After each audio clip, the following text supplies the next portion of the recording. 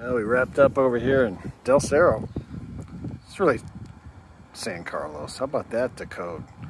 It's what happens when you get everything signed off by the city inspector with permits. They're pretty uh, specific about that venting, aren't they? but it's the code. 18 offers, 17 of them financed. People don't mind paying these rates if they find the right house.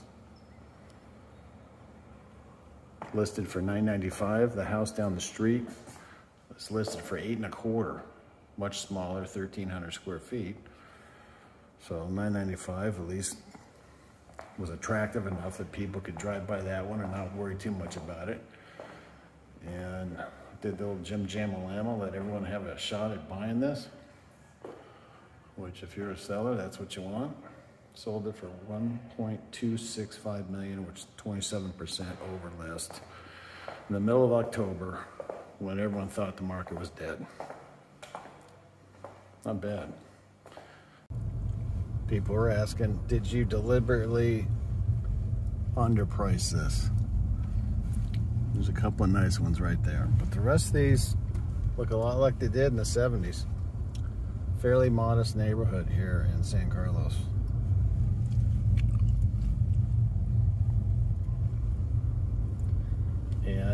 The market's been tough. You can't really expect people to ignore that. You're going to figure this out. Modest. And that's eight and a quarter right there.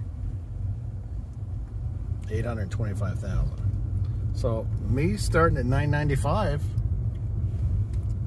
it gave me the assurance that it was going to at least be that. And if we got a lot of action, I'm really good. How about apartments right here at the end? Over here.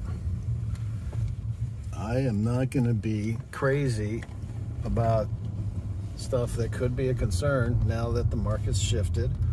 I'm going to factor that in. Call Jim the Realtor.